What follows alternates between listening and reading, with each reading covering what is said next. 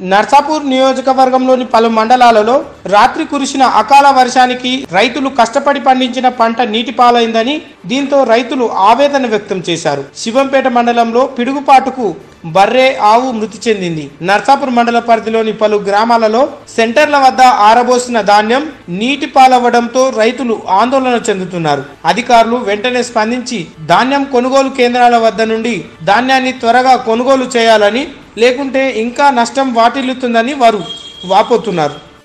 ఒరే పోసుకొచ్చినా ఇక్కడ పోసిన.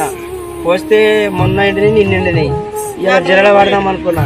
ఈ వంపు పాటుకుంది వర్షం బాగా పడి అందరిది వరద పడి వచ్చి మొత్తం ఎక్కువ మట్టుకు నాయ రెండు ఎకరాల వడ్లు మొత్తం కొట్టుకుపోయింది. పొదనాల పెట్టినాయి గద్దె పెట్టినాయి తీసుకుపోయి. ఒక్క ఏమి అది కూడా మాకు ఫలితం లేదు. దీనికి గవర్నమెంట్ ఏమైనా మాకు ఫలితం చేస్తే మీకు ధన్యవాదాలు కౌలు చేస్తున్నా ఆ, లాగోడి మస్తు లాగోడి అయింది మా సొంత భూమి కూడా కాదు కౌలు భూమి చేస్తున్నా. అంత ఏదైనా ఆడుకుంటే ఆడుకోరు లేకపోతే ఏదైనా మందు తాగి ఇక్కడనే అలా అవుతుంది